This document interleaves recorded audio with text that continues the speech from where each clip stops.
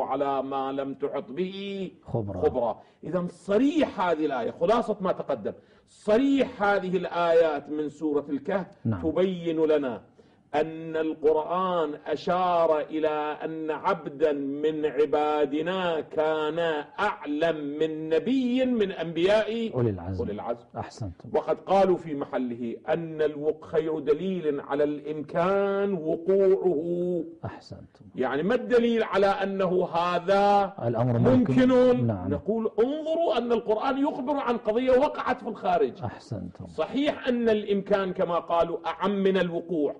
ولكن الوقوع أخص ماذا؟ من الإمكان. أحسنتم. يعني إذا وقع شيء فنستكشف من وقوعه أنه ماذا؟ ممكن. أمر ممكن. نعم. إذا الآن نحن في المرحلة الأولى أثبتنا قرآنيا لا فقط إمكان أن يكون عبدا من عبادنا والقرآن لم يقل أنه كان نبي أو لم يكن. أحسنت. أنا لا لا أتكلم على مستوى الرواية. قد الروايات تقول أنه كان خضر وقد نقول أن خضر كان نبي. لكن هذا بحث روائي. أما على مستوى البحث القرآني الآية ماذا تقول؟ تقول عبدا من عبادنا. أحسنت. ولم تعين أنه كان نبي أو ليس أحسنتم. بنبي إذا يمكن أن يكون عبدا وإن لم يكن نبيا أن يكون أعلم من ماذا من نبي من نبي من أنبياء وليس. فقط نبيا عاديا وإنما نبي من أنبياء أولي العزم. وهو موسى عليه وهو رسول وكليم. الله. أحسنتم، إذا نعم.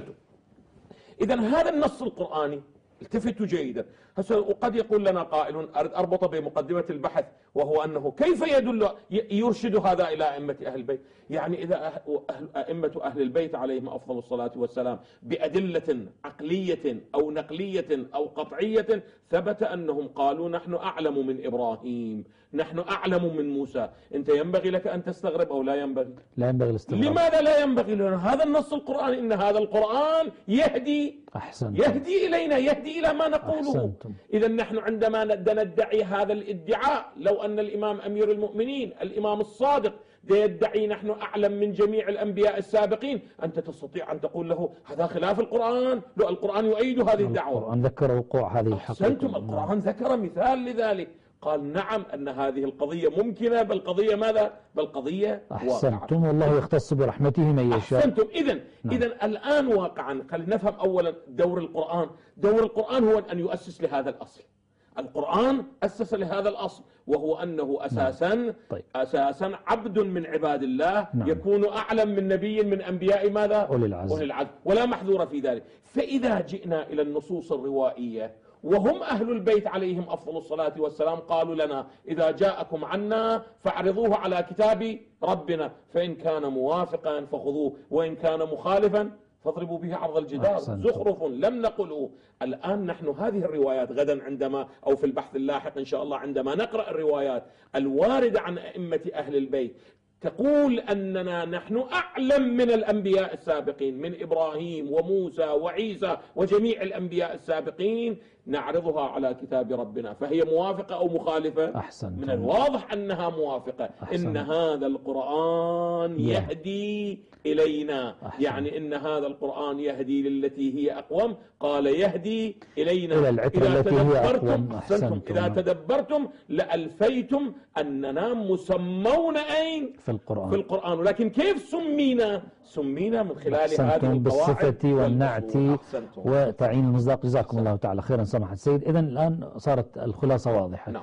السؤال الآن هل هذا معتقد أتباع مدرسة أهل البيت صلوات الله عليهم فقط أم يوجد من العلماء المسلمين عموما من غير أتباع مدرسة هذا. أحسنتم أحسنتم. نعم واقعا أنا بودي أن المشاهد الكريم وإن كنا قد نتأخر في هذه القضية بس تفضل. بودي أنه يحفظ لنا هذا الأصل الذي أريد أن أؤسس له في هذه الحلقة لأنه نافع لنا إن شاء الله في الحلقات القادمة إن شاء الله أنا بودي دكتور سالم تفضل. هذه القضية ولو لمرة واحدة نقف عندها بشيء من التفصيل تفضل حتى تفضل نتحدث تفضل نعم تفضل في الواقع أنا عندما راجعت كلمات كبار علماء المسلمين لا أقول كل علماء المسلمين لأنكم نعم. تعلمون لا يمكن هذا الاستقراء نعم. ولكنه جملة من من العلماء الذين هم المرجع هم الذين يشار إليهم في نعم. مباحث العقائد أحسنت. الذين يشار إليهم في مباحث التفسير نعم. الذين يشار إليهم في مباحث العقل والقضايا العقلية والفلسفية أو العرفانية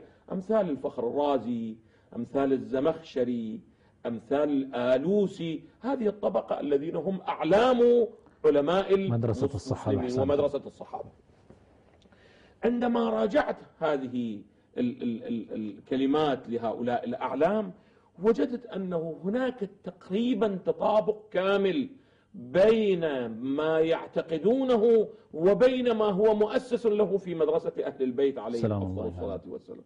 يعني نحن عندما نأتي إلى مدرسة أهل البيت يتذكر المشاهد الكريم نحن فيما سبق قلنا توجد عندنا مدرستان نعم. لفهم القرآن وسنة النبي مدرسة الصحابة ومدرسة أهل البيت. أهل البيت عليهم الطريقان للوصول إلى هذين المنبعين الأصليين نعم وجدت بأن مدرسة أهل البيت تؤكد على النقاط التالية يعني يعني مفاتيح وأصول مدرسة أهل البيت تكون في النقاط التالية وفي وفي المحاور التالية نعم. المحور الأول أنه لا بد من وجود معصوم بعد رسول الله صلى الله عليه وآله لماذا؟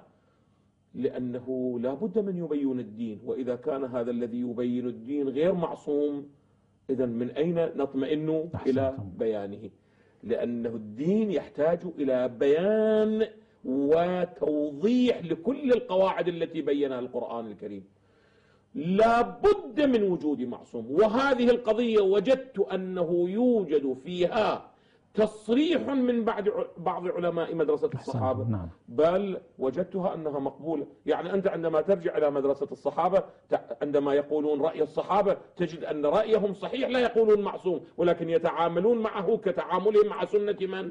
مع سنة النبي صلى الله عليه وسلم. بل هناك كلمات من بعضهم أنه إذا تعارض خبر من رسول الله وسنة صحابي يقدم سنة الصحابي على ماذا؟ على سنة على الله. الرسول. على سنة رسول الله والآن ما أريد أدخل في هذه نعم، التفاصيل نعم. ولكنهم تعاملوا وإذا سألتهم لماذا قالوا لأن هؤلاء هم الذين عاشوا مع النبي بأيهم اقتديتم اهتديتم. أحسنتم نعم. قالوا هم الذين عاشوا مع النبي هم أقرب إلى فهم القرآن هم أقرب إلى فهم كلمات الرسول الأعظم الدين وصل إلينا من خلالهم ولهذا وجدت نظرية عدالة عدالة, الصحابة. الصحابة. وأنا أتصور أنه في العنوان هي عدالة الصحابة ولكن في المحتوى هي عصمة ماذا الصحابة. هي عصمة الصحابة أحسنتم. لأنهم قالوا من يخالفهم بل ذهب بعضهم إلى أنهم من خالفهم فهو كذا وكذا. الآن ما أدخل في التفاصيل. تعلم. إذا ضرورة وجود معصوم يبين الدين بعد رسول الله. هذا يصرح به البعض. بل ونجد أنه هو نتيجة جملة من المدارس حتى المدارس ال- ال- السلفية الحديثة أيضا. أحسنتم نعم النص الأمر الثاني وهو أنه هذا المعصوم هل يشترط أن يكون في كل زمان أو في زمان وينتهي؟ هذا هو الأصل في الثاني كل زمان جيد. نعم نحن نعتقد بأنه لا بد في كل زمان من وجود المعصوم يعني وأن أن الأرض لا تخلو من حجة من حجة وبتعبير آخر من مات ولم يعرف إمام زمانه مات ميتة جاهلية. جاهلية هذا أيضا من أصول اعتقاد مدرسة أهل البيت الأصل الثالث وهو من الأصول الأساسية دكتور هو أنه هذا الإنسان هذا المعصوم هذا المعصوم نعم. وهذا الإنسان الذي هو في كل زمان هل يرى أعمال الخلائق أو لا يرى يعني وقل اعملوا فسيرى الله عملكم ورسوله والمؤمنون. والمؤمنون لماذا؟ حتى يشهد على الأعمال يوم القيامة يعني. الشهادة على الأعمال هل يوجد في كل زمان من يرى أعمال الناس حتى يكون شاهدا يوم يقوم الأشهاد لرب العالمين أو لا هذه أصول اعتقادات مدرسة أهل البيت أحسنتم. واقعا أنت لو وضعت أصول قرآنية أحسن هسه الآن قبل أن أتكلم عنها خب نعم. الآن أنت عندما ترجع إلى كلمات هنا وهناك في كلمات الكتاب متكلمين محدثين يقولون هذه انفردت بها مدرسة من؟ مدرسة أهل البيت عليهم أفضل الصلاة والسلام ولكنه في الواقع ليس الأمر كذلك نعم هذه الأصول التي هي من أصول اعتقادات مدرسة أهل البيت قال بها علماء مسلمون كثيرون علماء كبار من علماء المسلمين قالوا بهذه الأصول التي. أشرت إليه آمنوا بها. قد يقول لنا قائل هل يعقل ذلك؟ يعني هل أن علماء مدرسة الصحابة يؤمنون بهذه الأصول؟ إذا ما الخلاف؟ إذا ما الخلاف؟ أحسنتم. نعم. أنا الآن إذا أكو وقت دكتور تفضل. أحاول أن أشير إلى بعض كلمات أعلام علماء وخصوصا الفخر الرازي الآن. فقط اكتفيت بهذا القدر. نعم. فيما يتعلق بالفخر الرازي وجدت بأنه ضرورة وجود معصوم. بسم الله الرحمن الرحيم الحمد لله رب العالمين والصلاة والسلام على رسول الله الأمين محمد وآله الطيبين الطاهرين السلام عليكم مشاهدينا الكرام ورحمة الله تعالى وبركاته أحييكم أطيب تحية وألتقيكم في هذه الحلقة من برنامج مطارحات في العقيدة عنوان هذه الحلقة استمرار للحلقة السابقة أئمة أهل البيت صلى الله وسلامه عليهم أجمعين أعلم من جميع الأنبياء السابقين. صلوات الله عليهم جميعا. القسم الثاني طبعا في حلقة اليوم وفي هذه الحلقة إن شاء الله تعالى مشاهدينا الكرام سنتطرق إلى مسائل مهمة تتعلق بهذا الموضوع من حيث من يقول بهذه المقالة وهل انفرد أتباع مدرسة أهل البيت صلوات الله عليهم بهذا القول بأنه يوجد من سائر أولياء الله من يكون أعلم من الأنبياء السابقين صلوات الله عليهم أم أنه هذا من قول المسلمين من مختلف مدارسهم ومذاهبهم أيضا وسنبحث عن نقاط الخلاف والالتقاء في هذه المسألة والفيصل فيها. تابعنا مشاهدينا الكرام بعد هذا الفاصل.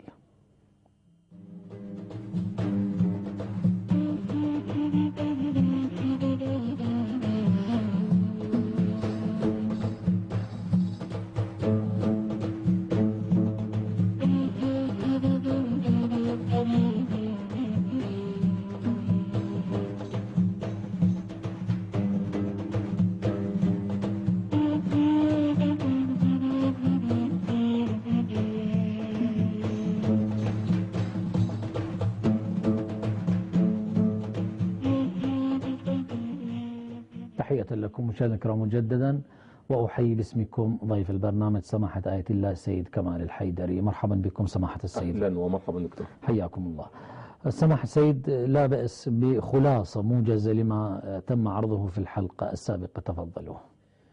أعوذ بالله السميع العليم من الشيطان الرجيم. بسم الله الرحمن الرحيم. وبه نستعين. والصلاة والسلام على محمد وآله الطيبين الطاهرين.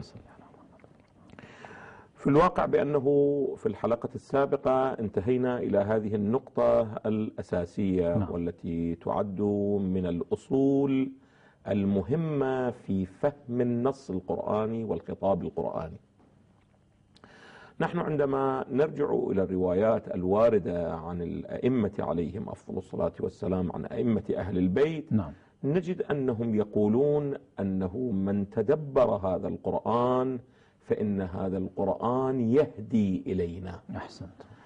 في ذيل قوله تعالى إن هذا القرآن يهدي للتي هي أقوم. نعم. قال الإمام الصادق عليه أفضل الصلاة والسلام إن هذا القرآن يهدي إلينا. أحسنت. أو عندما نأتي إلى مجموعة أخرى طائفة أخرى ألسنة أخرى من النصوص الروائية تقول بأنه من تدبر هذا القر- القرآن لوجده لمن تدبر فيه يجده أننا مسمون في هذا القرآن. أحسنت يعني أنه يجد أسماءنا البعض فهم من هذه النصوص يعني يجد أسماءنا في هذا القرآن فاعتقد بإذن إذن القرآن فيه الكريم تحريف أو فيه فيه- تحريف أو نعم. فيه نقص أو فيه تلاعب أو نحو ذلك. في الواقع أنا إنما بدأت هذا البحث في الحلقة السابقة لأبين ما هو المراد من هذه النصوص إن هذا القرآن يهدي إلينا. إن هذا ال- من تدبر فيه لألفاه لوجده نحن مسمون في هذا القرآن. المراد من هذا أن الإنسان عندما يتدبر هذه القواعد هذه النصوص يتدبر هذه الأسس هذه المبادئ هذه هذه هذه الأمثلة التي ضربها القرآن الكريم لا يجد لها مصداقا إلا أين؟ أحسنت. إلا في أئمة أهل البيت عليهم فقد وسمهم. القرآن وهذا معنى وسموا التسمية أحسنتم نعم. يعني هم ذكروا في القرآن لا على أساس من خلال الأسماء بل من أحسنتم. خلال الصفات أحسنت وهذه نقطة أساسية بودي أن المشاهد الكريم يلتفت إليها جيدا تارة نحن ندعي أن أهل البيت ذكروا في القرآن على من خلال ذكر أسمائهم فهذا مما لا ريب أنهم لم يذكروا بأسمائهم.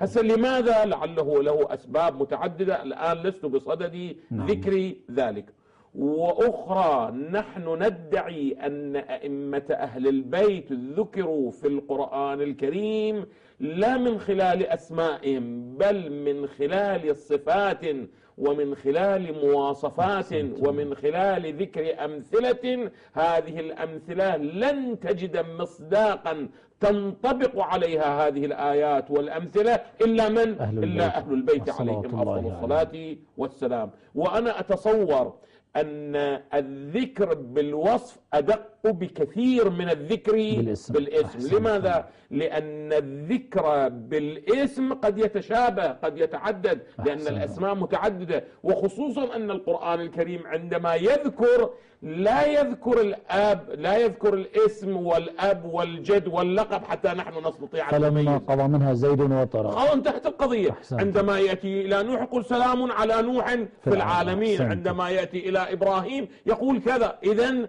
القرآن الكريم لو كان البناء أن يذكر الأسماء لقال علي محمد حسن حسين هذه لا تحل المشكلة. لماذا؟ لأنه كثير من الأسماء والشاهد التاريخي الذي يؤكد به هذه الحقيقة. أنتم تجدون بأنه عندما قالوا بأنه هناك شخص ولد في الكعبة وذكروا 22 شخص 30 شخص اسمهم علي ولدوا أين؟ ولدوا في الكعبة. أحسنتم. إذا القضية لم تكن تحل من خلال ذكر الأسماء. والبعض يتصور أن القرآن الكريم لو ذكر الأسماء لانحلت المشكلة. أبدا أخي العزيز بدليل أنه في قضايا- تاريخية مسلمة بين علماء التاريخ ومع ذلك نجد وقع الاختلاف فيها بدليل أن النبي صلى الله عليه وآله نص على علي في موارد متعددة ومع ذلك وقع ماذا.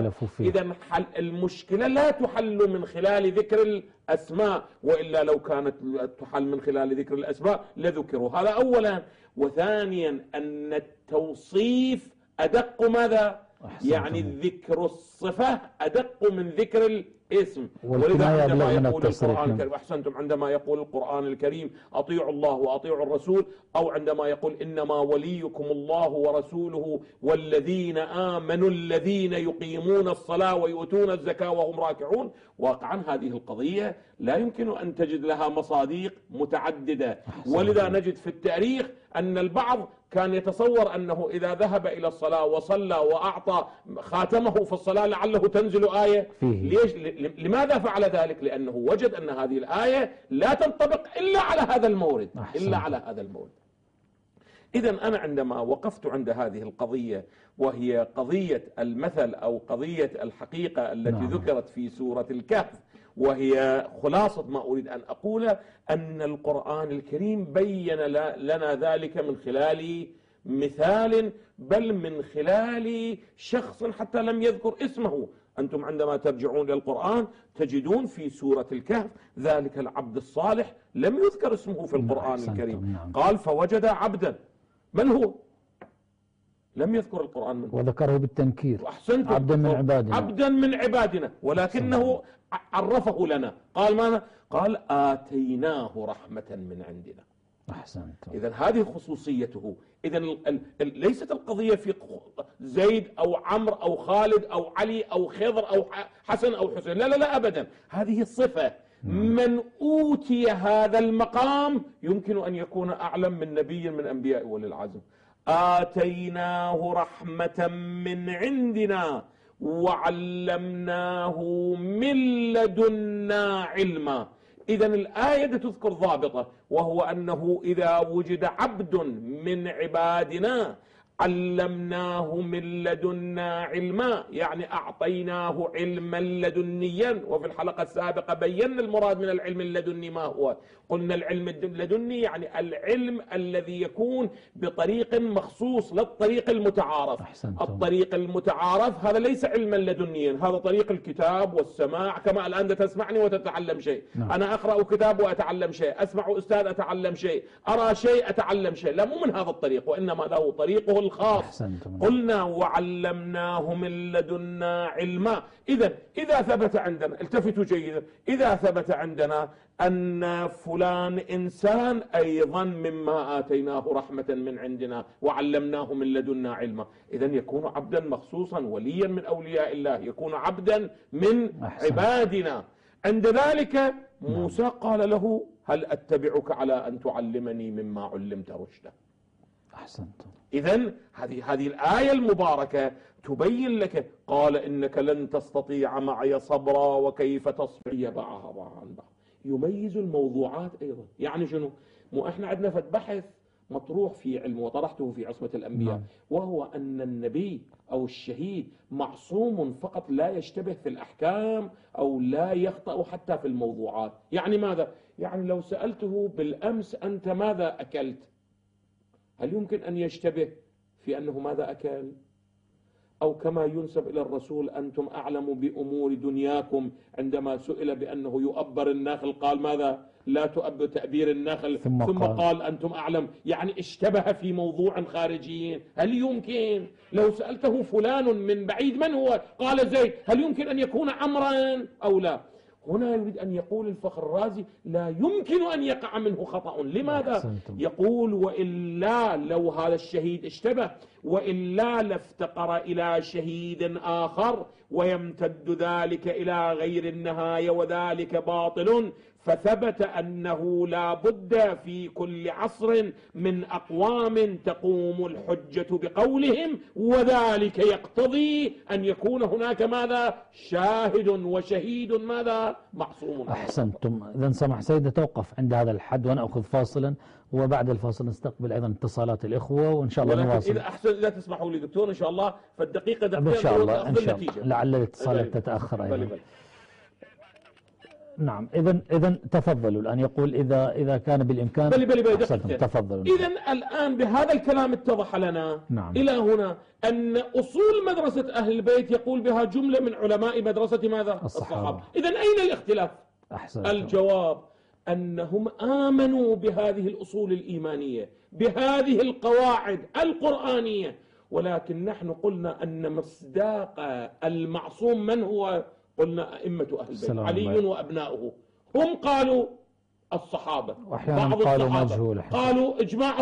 قالوا الإجماع هو الآن الفخر الرازي يصرح وأن مرادنا من هذا الشهيد من هو الإجماع أنا لا أستطيع أن أفهم. كيف يعقل أن يكون الإجماع شاهدا على هل الأمة؟ الأمة كلها رأت كيف يمكن؟ فتجمع يوم يا القيامة على الشهادة يا أخي العزيز نعم. يعني أنت عندما تنظر إلى هذه الكلمات تستغرب أنه كيف يعقل من إنسان يقول هذا كذا. وذلك يقتضي أن يكون إجماع الأمة حجة. يا أخي غريب يعني إنسان على مستوى الفخر الرازي يقول لابد من شهيد على أعمال الأمة. يقول من الشهيد؟ يقول إجماع الأمة. بينك وبين الله. وهل هذا إلا التناقض؟ وكيف تجمع الأمة على أي شخص؟ كيف كيف كيف؟ يعني الآن الآن عندما عندما نقول أمة يعني مرادنا الآن أمة الرسول من زمان الخاتم إلى يومنا هذا كيف يكون الإجماع حجة على الشهادة؟ وهل اجتمعوا على قضية واحدة حتى حتى أحسنتم ثم كونوا مع الصادقين.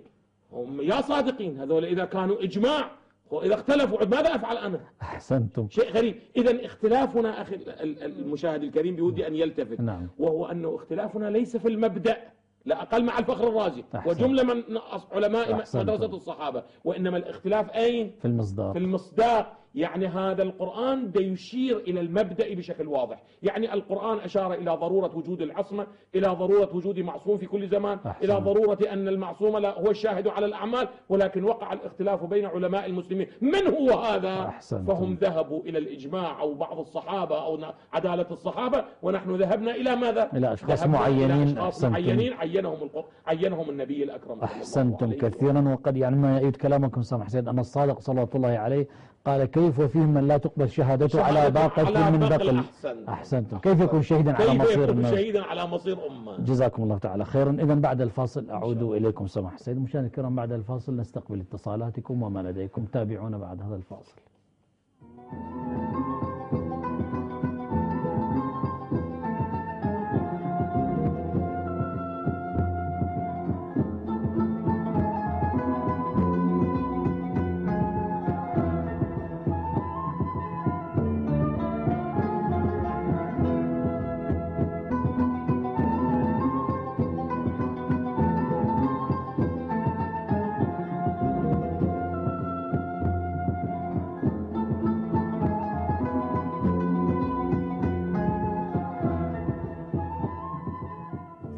تحية لكم مشاهدينا الكرام مجددا ولآية الله السيد كمال الحيدر مرحبا بكم سماحة السيد. ومرحبا حياكم الله. سماحة السيد معنا الأخ نايف من الكويت تفضلوا. السلام عليكم ورحمة الله وبركاته. وعليكم السلام ورحمة الله مساء وبركاته. الخير. حياكم معكم الله. الأخ نايف من الكويت. تفضلوا. حياكم الله. ولقب نفسي باسم خادم القرآن. وإن شاء الله لي السبق إن شاء الله. تفضل بسم الله الرحمن الرحيم. يعرفونه كما يعرفون أبنائهم نعم. هذه الآية تقصد تقصد جميع الأنبياء أمام المنتظر. أنه هو هو في سورته وهو أصل نون والقلم وما يسرون نعم. حرف حرف من وأن لك أجر غير ممنون. أنه خير تصير من له أجر من على من على في في, في الأرض. وهو الأول والآخر والظاهر الباطن. طيب إذا نعم الظهر أن الصوت يتقطع مع الأخ سعيد. على كل يعني فهمنا إجمالا سأعرض ما فهمته على سماحة السيد. الآن معنا الأخ سعيد من إيران. تفضلوا. السلام عليكم. عليكم السلام ورحمة الله وبركاته. السلام أيضا لجميع المشاهدين والسلام لسماحة السيد.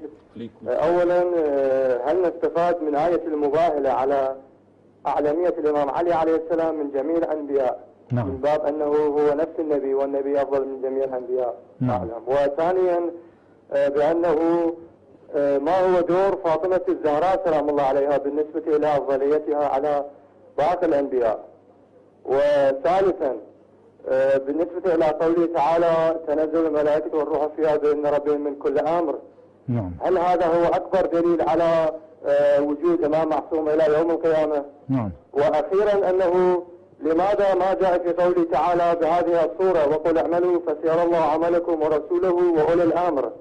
نعم. طيب. طيب وصلت شكراً الأسئلة. حياكم الله. معنا الأخ عبد الله من اليمن. تفضلوا. نعم. السلام عليكم سيدي.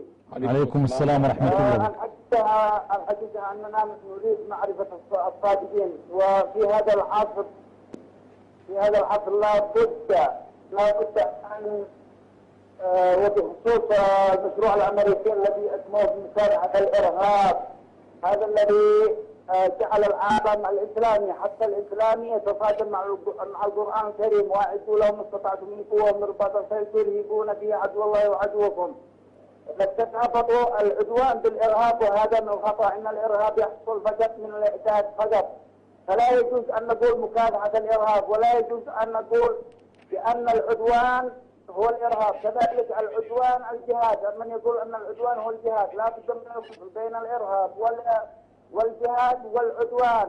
أمريكا قامت بالخلط بالمفاهيم حتى جعلت جعلت أمة نعم. الإسلام ينجرون نعم. وراءها وهم لا يعلمون. نعم. لا آه، طيب إذا شكرا للأخ عبد الله من اليمن. شكرا معنا من إيران. من معنا؟ نعم. تفضلوا. نعم الاسم لي... لا سلام اسم. عليكم. عليكم السلام ورحمة الله السلام عليك يا دكتور سالم. عليكم السلام وعلى ورحمة الله. ضيفك الكريم سماحة السيد كمال الحيدري حياكم الله حياكم سؤالي. من سماحة السيد هو نعم. أنه بالنسبة إلى هذه الآية الشريفة في سورة الكهف نعم. الذي تلاها آه، السيد آه، كمال الحيدري حفظه الله. نعم. استفاد سماحة السيد من هذه الآية الشريفة أنه ممكن أن يكون عبدا صالحا أعلم من نبيا ولو كان من أنبياء أولي العزم. نعم. مع أنه نرى في التاريخ أن علمية ذلك العبد الصالح كانت غير مرتبطة بالشريعة أي شريعة موسى عليه السلام. نعم. يعني ذلك العبد كان أعلم من موسى بغير الأمور المرتبطة بالشريعة وكان موسى أعلم منه بالشريعة. ولذا ورد في الروايات الشريفة كما, كما عن الإمام الصادق عليه السلام في بحار الأنوار أن ذلك العبد بمنزلة المخبر لموسى. يعني موسى كان مخبر وهذا لا يدل على علمية ذلك العبد الصالح. كمثل إخبار الهدهد بالنسبة إلى سليمان عليه السلام. نعم. وبالفرض أن ذلك العبد كان أعلم من موسى هل أن تلك الأعلمية مخدشة في عصمة موسى أم لا؟ نعم. لأننا نرى في تفسير مجمع البيان أنه قال أن ذلك المسمى بموسى ليس بموسى النبي عليه السلام وشكرا. هذا تمحل هذا نعم. إذا معنا من العراق من معنا من العراق؟ ال- الأخ الأخ حسن من العراق تفضلوا. نعم. تفضلوا. نعم الظاهر أن الاتصال قد قطع. نعم سمح سيد.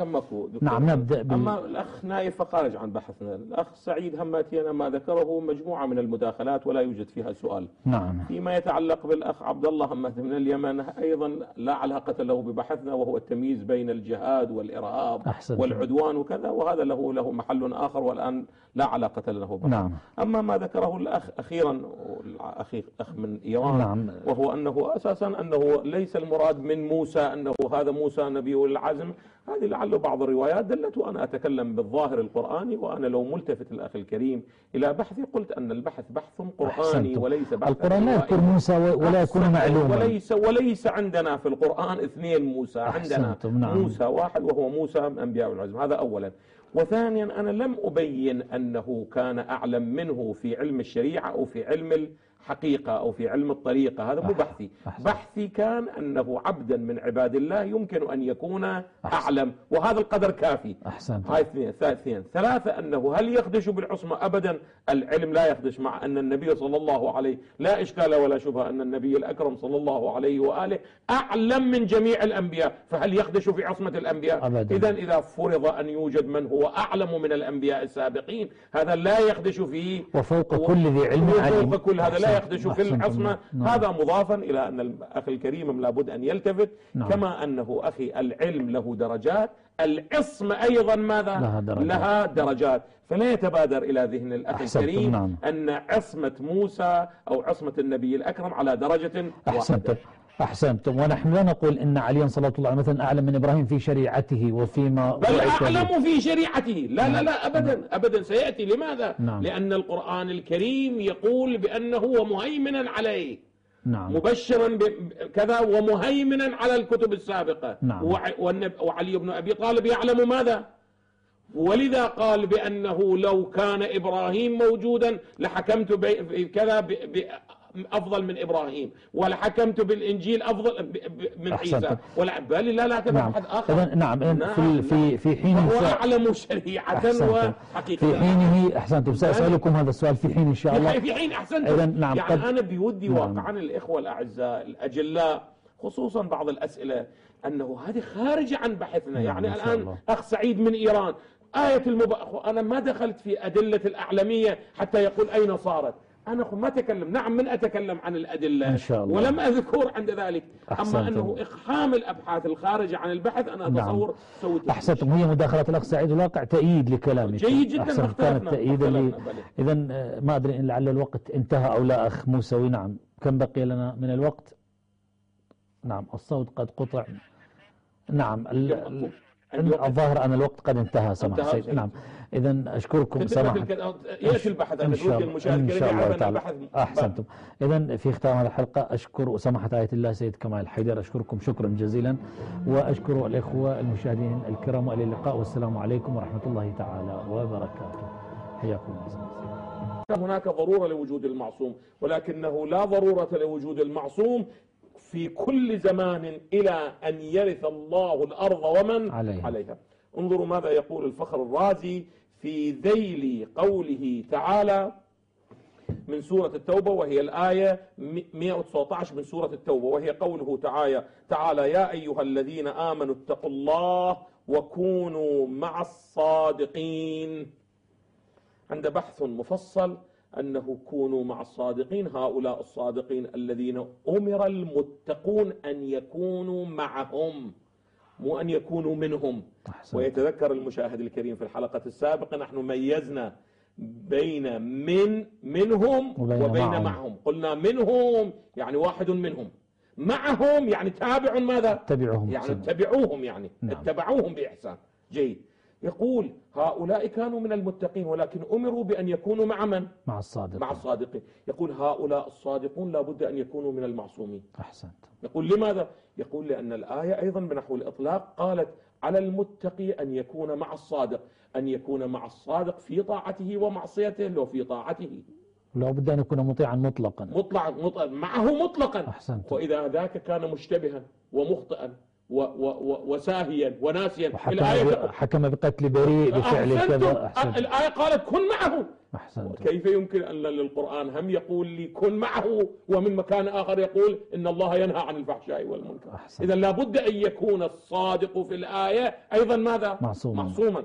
ولذا يقول فكانت الآية دالة على أن من كان جائز الخطأ يعني عموم الناس وجب كونه مقتديا بمن كان واجب العصمة يجب علي أن نقتدي أن نكون مع من؟ مع من هو واجب العصمة. بعد فهذا يدل على أنه واجب على جائز الخطأ كونه مع المعصوم عن الخطأ حتى يكون المعصوم عن الخطأ مانعا لجائز الخطأ عن الخطأ أحسنت. وإلا بينك وبين الله إذا فرضنا الصادقون أيضا أيضا ليس جائزو الخطأ نعم. قل لماذا أمرنا بأن نكون معهم أحسنت لا بد أن يأمرنا بأن نكون معهم ما داموا صادقين مو أنهم أن نكون معهم مطلقاً. أحسنتم. وهذا المعنى التفتوا جيدا يعني أن يكون هناك من يعصم جائز الخطأ من الخطأ وهذا ليس إلا واجب العصمة. يقول وهذا المعنى قائم في جميع الأزمان يعني أن نكون مع الصادقين إذا فوجب حصوله في كل أزمنة الأزمنة أحسنتم فإن قلت إذا كان الأمر كذلك يعني أيها الفخر الرازي أنت تعتقد في كل زمان لابد من وجود المعصوم؟ يقول قلنا نعم نعترف بأنه لابد من معصوم في كل زمان. سبحان الله. وهل قال الشيعة أكثر من ذلك؟ والله بيني وبين الله أستغرب. ي- يتهم تتهم مدرسة أهل البيت بأنه من أين جاءوا بهذه الكلمة؟ يا أخي هذه تصريحات كبار علماء المسلمين أنا لا أقول جميعهم ولكن هذا أحد كبار علماء المسلمين وهو من مدرسة الصحابة. وهو يصرح ال- ال- اللطيف هذا. حتى حتى واحد لا يقول لنا قائل أنه هذا شيعي ده يقول لا لا يصرح. يقول ترى أنا عندما أقول هذا ترى مو مرادي أئمة الرافضة ترى. أحسنتم. يصرح. اذا هو هنا يبين أنه هو من مدرسة الصحابة لو من مدرسة أهل البيت. خل أقرأ العبارة حتى يتضح نعم. للمشاهد الكريم بل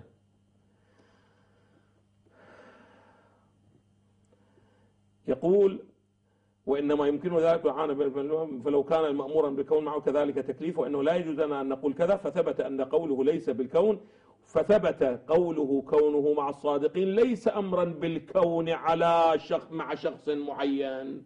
ترى إحنا مو مرادنا شخص معين مثل كما يقول منه. أئمة الشيعة أحسنتم. نعم. ولما بطل هذا اذا مرادنا ماذا؟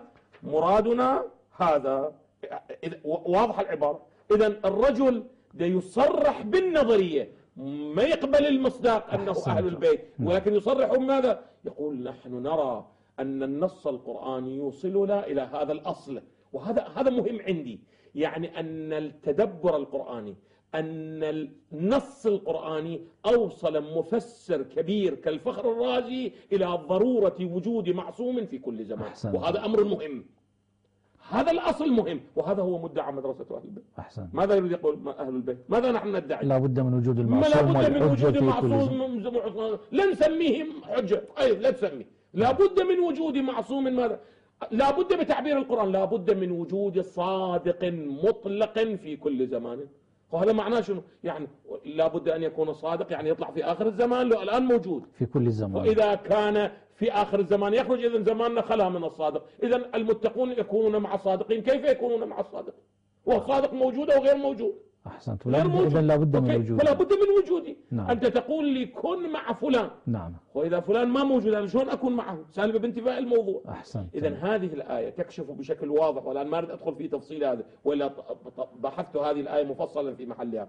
هذه يعني في مناهج بحث الإمامة هذا البحث أنا طرحته عندي كراس مفيد للمشاهد الكريم. مناهج بحث الإمامة. أنا طرحت هذه الآية المباركة بشكل تفصيلي نعم. وبينت بأن هذه الآية تبين ضرورة وجود معصوم في كل زمان. هذا الأصل الثاني. نعم. الأصل الثالث الذي تعتقد بها مدرسة أهل البيت هي أنه يوجد في كل زمان من هو شاهد على أعمال الخلائق حتى يشهد عليها يوم القيامة.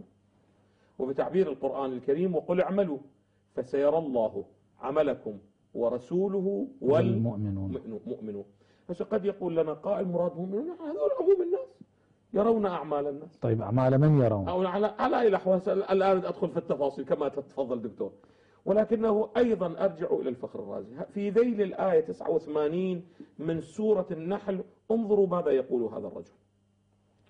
كونوا على ثقة أنا بودي أن المشاهد الكريم أيضا مرة أخرى أؤكد. أنه هذه الأصول التي تعتقد بها مدرسة أهل البيت أصول يوصل إليها القرآن الكريم بغض النظر عن من هي من هم. يعني القرآن أوصل الفخر الرازي إلى ضرورة وجود معصوم بعد رسول الله. أحسنتم. القرآن أوصله بضرورة وجود معصوم في كل زمان. القرآن يوصله إلى هذه الحقيقة الثالثة. انظروا ماذا يقول. في ذيل قوله تعالى 89 من سورة النحل قال تعالى وأنزلنا ويوم نبعث في كل أمة شهيدا عليهم من أنفسهم. في كل أمة يوم القيامة الله يبعث ماذا؟ شهيد. يشهد عليهم ماذا؟ أحسنت. أعمالهم. نعم. خب يشهد عليهم أعمالهم يعني ماذا؟ يعني شلون كان يحرك إيده؟ لو شلون كان يصلي؟ لو حتى إيمانهم الذي هو أمر غيبي يشهد عليه. إيمانهم ونفاقهم أيضا يشهد عليه. أحسنتم. أي منهم؟ واقعا مو فقط يشهد على الأعمال الظاهرية وإنما يشهد على الأعمال الظاهرية. والأعمال ماذا؟ الباطنية. أحسنت. يعني على أفعال الجوارح وعلى أفعال ماذا؟ الجوانح يعني أفعال القلوب أحسنتم. الإيمان يعني هذا أولا. ثم بينك وبين الله هسه أنت قد تشهد على شخص شخصين ثلاثة. أما تستطيع أن تشهد على أمة كاملة وأين تستطيع أن أنت آه، تكون معها حتى تشهد عليها؟ ولكن صريح الآية يقول يوم نبعث ويوم نبعث في كل أمة شهيدا عليهم من أنفسهم من, من, من أوساطهم. أحسنتم وجئنا بك شهيدا على هؤلاء. في ذيل هذه الآية انظروا ماذا يقول الفخر الرازي يقول وثبت أيضا. هذا كلام منه الرازي. الرازي. وثبت أيضا أنه لا بد في كل زمان بعد زمان الرسول من الشهيد على الأعمال. منين ده يستفيده؟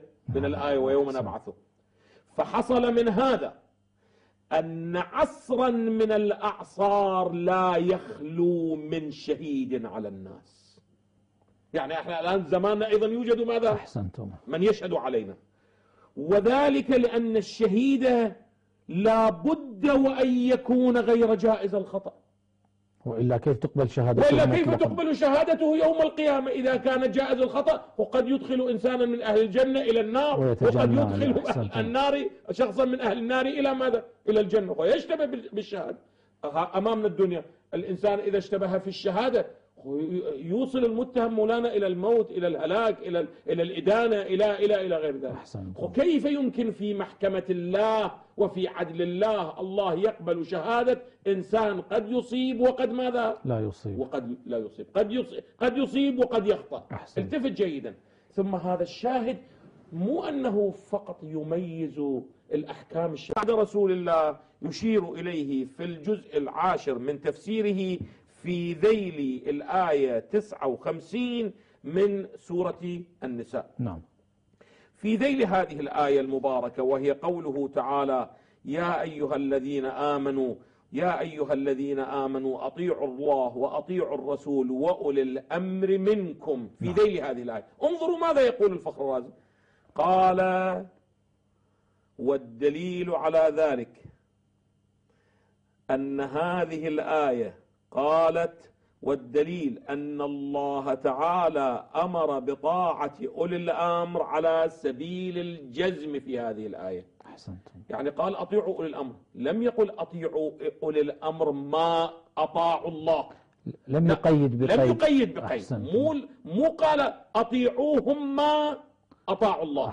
إذا إذا جاء ولي أمر وقال أنا أطيعوني ما أطعت الله فيكم هذا مو مشمول لهذه الآية. أحسنتم. الآية تقول أطيعوا ماذا؟ أولي الأمر. أولي الأمر وهي مطلقة لو مقيدة. مطلقة. بأي بأي بأي قرينة بأي قرينة مطلقة مو مقيدة. قد واحد يسأل الفخر الرازي يا يا يا فخر من أين تقول أنها مطلقة مو مقيدة؟ يقول لأنه قالت أطيعوا الرسول وأولي الأمر منكم أحسن. وإطاعة الرسول مقيدة أو غير مقيدة مطلقة. أبدا نعم. من يطع الرسول فقد أطاع الله. أطاع الله. ومو من يطع الرسول في طاعة الله لا لا أبدا أحسنتم طاعة الرسول مطلقا هي نعم. طاعة الله وحيث أنه أولي الأمر عطف على ماذا؟ وقرن على طاعة الرسول. أحسنتم. نعم. إذا أيضا إطاعة أولي الأمر إطاعة ماذا؟ مطلقة. مطلقة فإذا صارت مطلقة يقول لابد أن يكون معصوما. أحسنتم. وإلا إذا كان قد يصيب وقد يخطئ. إذا لا معنى لأن نقول للناس أطيعوه مطلقا. لابد أن نقول أطيعوه مق- مقيدا. بشرط أن يكون كلامه لا طاعة لمخلوق في معصية جزاك الله خيرا. أحسنتم دكتور. أحسنتم، إذا. نستكشف من إطلاق وجوب الطاعة أن هؤلاء الأمر لابد أن يكونوا معصومين. هذا. يقول الفخر الرازي نعم. جيد. إذا سمح السيد بعد الفاصل لا بس أن تواصل الحديث لأنها قضية مهمة. نعم. مشاهدينا الكرام فاصل ونعود إليكم فانتظرونا. تحية لكم مشاهدينا الكرام مجددا وأحيي سماحة آية الله سيد كمال الحيدر. مرحبا بكم سماحة السيد.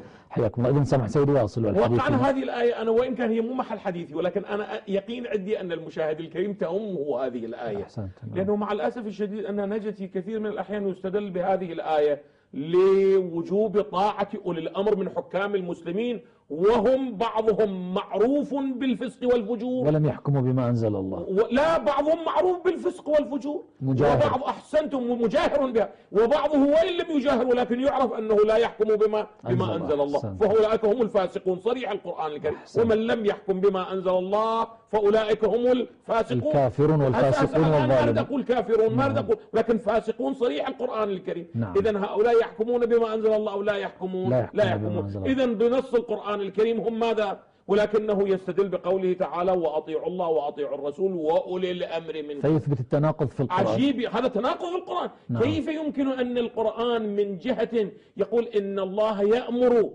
بكذا وكذا. وإن الله ينهى عن الفحشاء والمنكر. هو من جهة يقول ينهى عن الفحشاء والمنكر. ومن جهة يقول أطيعوا أولي الأمر الذين يأمرونكم بالفحشاء. برا كان أو فاجرا. بينكم وبين الله. أصلا هذا ممكن هذا منطق القرآن يقول. أبدا هذا تجني على الله والله القرآن ما أدري هذا الفهم ال- هذا الفهم المعوج هذا الفهم المنحرف. ولكنه أنا كما ذكرت مرارا وتكرارا أن مع الأسف أنه جملة من المفسرين وجملة من من, من الجهلة. هؤلاء أرادوا أن يبرروا للواقع الموجود ولو وقع التناقض أين؟ في القرآن الكريم. أحسنت. لأنهم وجدوا أنه إذا أرادوا أن آه، يتك- يتكلموا بمنطق القرآن لابد أن يدينوا كثير من أفعال الحكومة التي يسمونها الراشدة. أو هاي- الأفعال كثير من الأفعال التي صدرت في بل بل الحكم الأموي كله بل الحكم الماذا العباسي كله. أحسنتم. الحكام المعاصرين. أحسنتم. ك- كيف؟ ولكنهم قبلوا التناقض في القرآن حتى لا يمسوا ماذا؟ خدمة. خد سبحان خد الله. على اي الاحوال نعم. لا أريد أدخل. طبعا هذا فليكن للمشاهد الكريم. القضية ما مختصة بمدرسة دون مدرسة. لا لا يتبادر الذين أنا فقط دا أتكلم على مستوى مدرسة الصحابة. حتى أولئك الذين هم من مدرسة أهل البيت ويريدون تطبيق هذه الآية في غير موردها أيضا يتجنون على القرآن الكريم. القرآن الكريم ده يقول أطيعوا الله وأطيعوا الرسول. التفتوا جيدا. إطاعة الله إطاعة مطلقة أو مقيدة؟ مطلقة. مطلقة. مو أطيعوا الله إذا أمرني بالطاعة ولا تطيعوا الله إذا أمرك بالمعصية. وهذا محال أصلا. أحسنتم نعم الرسول طاعته ما هي؟ مطلق. مطلقة. وعطف وجوب الطاعة لأولي الأمر جعله مع طاعة من؟ الرسول صلى الله أطيعوا عليه وسلم. الله وأطيعوا الرسول وأولي الأمر منكم. طاعة واحدة. يعني طاعة أولي الأمر وطاعة الرسول ما هي؟ واحدة. واحدة. إذا لابد أن تكون أولي الأمر طاعتهم أيضا طاعة مطلقة. أحسنتم. ولا يمكن للحق سبحانه وتعالى. أن يأمر بالطاعة المطلقة إلا إذا كان من أمر بطاعتهم ماذا؟ مع- معصوما. معصوم وإلا إذا كان يخطئ إذا كان يشتبه. فقد غرر الله العباد قال أطيعوهم حتى لو أمروكم بالمعصية. فلماذا يحاسبهم حتى لو؟ أخطأوا حتى لو اشتبهوا مع أنه ليس كذلك. أحسنتم. ولا يوجد أوضح من هذا الدليل. ولا يوجد أوضح من هذه الآية المباركة. لذا التفتوا وهذا الرجل الفخر الرازي التفت إلى هذه النكتة. قال والدليل أن الآية أمرت بطاعة أولي الأمر على سبيل الجزم ومن أمر الله بطاعته على سبيل الجزم لا بد أن يكون معصوما عن الخطأ. التفتوا جيدا. إذا من هم عينهم يا, التفتوا. يا فخر الرازي بأي دليل تقول يا فخر؟ قال لأنه لو لم يكن معصوما عن الخطأ كان بتقدير إقدامه على الخطأ يكون الله قد أمر بمتابعته وهو على الخطأ. أحسنتم وكيف يأمر الله بمتابعة من هو على الخطأ؟ وهو يقول إن الله ينهى عن الفحشاء. يأمر بالعدل والإحسان. يأمر بالعدل والإحسان وينهى عن الفحشاء. والمنكر. أحسنتم. فإذا وقع هذا الإنسان في الفحشاء والمنكر ولو خطأ مو عمدا ولو خطأ. هل القرآن يقول لنا أطعه أو تقول, تقول يقول لنا لا تطعه؟ يقول لنا لا تطعه لأنه ينهى عن الفحشاء. والمنكر. إذا يكون داخلا في النهي. فلو قلنا أنه أولي الأمر يشمل غير المعصوم هذا معناه أن الله هم يأمرني بالعمل بالفحشاء والمنكر. أحسنتم. وهم ينهاني ماذا؟ عن العمل بالفحشاء والمنكر. وهذا جمع بين النقيضين. أحسنتم. إذا هذه الآية المباركة يصرح الفخر الرازي يصرح بأنها مختصة بمن؟ بالمعصوم بالمعصومين ولا يمكن أن تشمل غير ماذا؟ غير غير المعصوم. المعصوم ولذا لا يمكن الاستدلال بشكل صريح أقول لا يمكن الاستدلال بهذه الآية المباركة كما أعتقد شخصيا بهذه الآية المباركة في أولي الأمر لإثبات ولاية شخص غير ماذا؟ غير المعصوم. غير المعصوم حتى لو كان عادلا أيضا لا يمكن الاستدلال بهذه الآية أحسنتم لأنه لا, يقاس نحن أهل بيت لا يقاس بنا أحد. لا مقصودي الآن أنا ما أريد أتكلم منهم. أريد أقول أولي الأمر في الآية لا يمكن أن تشمل غير المعصوم. نعم يبقى بحث من هم؟ لابد أن نبحث بحثا جديدا لنعرف من هم ماذا؟ إذا هذه الآية صريحة تبين لنا أنه بعد النبي صلى الله عليه وآله لا بد من وجود معصوم أو لا؟ لا بد من وإلا كيف تأمرنا بطاعة المعصوم والمعصوم غير ماذا؟ غير موجود. موجود. لا بد من وجوده بعد رسول الله حتى تجب ماذا؟ حتى تجب طاعته. وإلا إذا لم يكن هناك معصوم لا معنى لأن الآية تقول أطيعوا الله وأطيعوا الرسول وأولي الأمر منكم. وأولي الأمر هم المعصومون موجودون أو غير موجودين. إذا قلنا غير موجودين وكيف نطيعهم أحسنتم. إذا الآية تثبت أننا أنه يوجد هناك ماذا؟ معصوم بعد رسول الله. المطلب الثاني أو الأصل الثاني. نعم. الأصل الثاني أن هذا المعصوم موجود في كل زمان أو في زمان دون آخر. قد يقول لنا قائل أنه نعم خمسين سنة مئة سنة بعد رسول الله.